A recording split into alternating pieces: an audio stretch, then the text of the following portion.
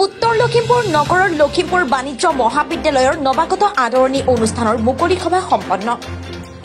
উত্তৰ লখিমপুৰ নগৰৰ লখিমপুৰ বাণিজ্য মহাবিদ্যালয়ৰ অনুষ্ঠিত হোৱা নৱাগত আদৰণি অনুষ্ঠানটি উদ্বোধন কৰে লখিমপুৰ বালিকা মহাবিদ্যালয়ৰ অধ্যক্ষ ডক্টৰ সুৰজিৎ ভূঞে।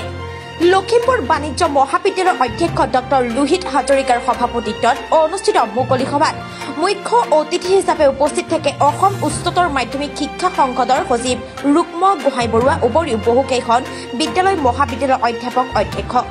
সামূহিক চাফাৰীৰে আৰম্ভ হোৱা নৱাগত আদৰণি অনুষ্ঠানত প্ৰাচীৰ পত্ৰিকাৰ প্ৰতিধ্বনি উন্মোচন কৰে মহাবিদ্যালয়ৰ জ্যেষ্ঠ অধ্যাপক মহেশ ভাগৱতীয়ে।